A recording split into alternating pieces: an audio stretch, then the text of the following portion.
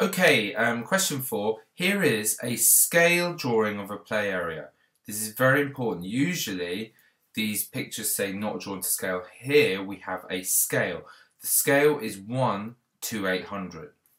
A straight wall is built from A to B, so we're building a straight wall from A to B. 250 bricks are needed for each meter. Work out the number of bricks needed for the wall. Okay, so let's get our ruler out and let's measure how far it is from A to B.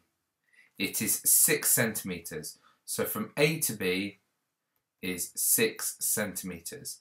Therefore, in real life,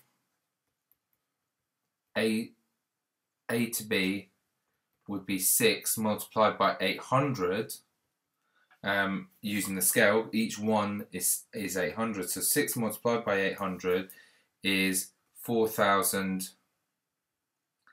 800, which in terms of meters must be 48 meters. That's how many centimeters it would be, so this must be 48 meters. Now we can remove the ruler here, and 250 bricks are needed for each meter, so therefore bricks needed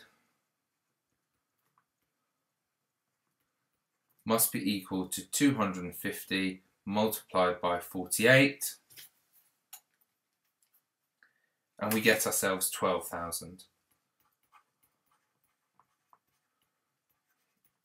So this question, the answer to this is 12,000 bricks. Nice and straightforward for four marks. Make sure you pick up the point that when we're talking about scales, this is when we are measuring. If you if you see not drawn to scale, then you're using logic